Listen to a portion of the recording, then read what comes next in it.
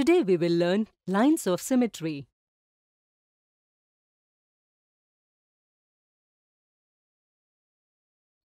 In the previous video, we learned that a figure which is in equal balanced ratio is called a symmetric figure. The given figures are symmetrical figures. To understand this better, let's now know what is the line of symmetry. Let's understand this with an activity. Take a piece of paper. Using scissors, cut the shape of the English alphabet A from it. Can you tell whether this figure is symmetric or not? Think for a while. Absolutely correct. If we keep the left half of it on the right half, then they are seen to overlap each other perfectly. This shows that they are reflections of each other. Therefore, we can say that the letter A is a symmetric letter.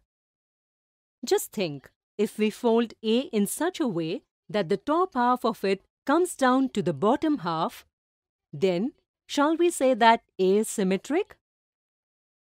Think for a while. Absolutely correct. This does not make A appear symmetrical. On the basis of both the conditions, we can say that the symmetry of the figure is apparent only when it is bent along a particular line, like the vertical line passing from the middle of A here.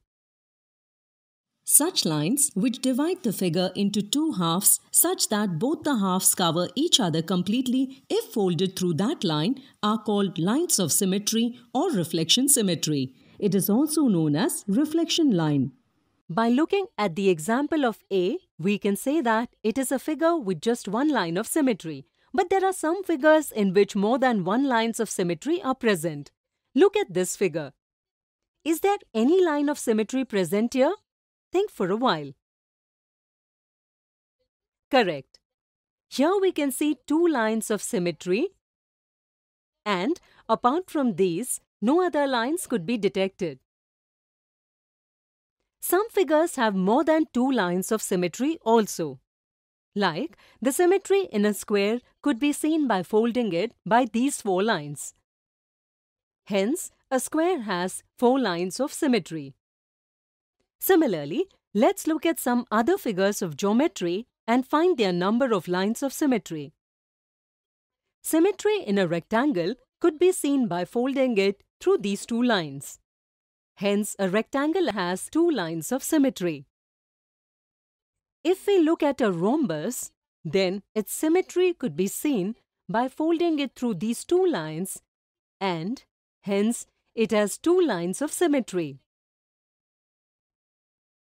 Similarly, three lines of symmetry could be seen in an equilateral triangle. But if we look at a circle, any line passing through its center is a line of symmetry. And since there are infinite number of lines which can pass through the center, hence a circle has infinite lines of symmetry. Now take five different figures and find out the number of lines of symmetry in them. Today we learned lines of symmetry. In the next video, we will look at some interesting examples based on this.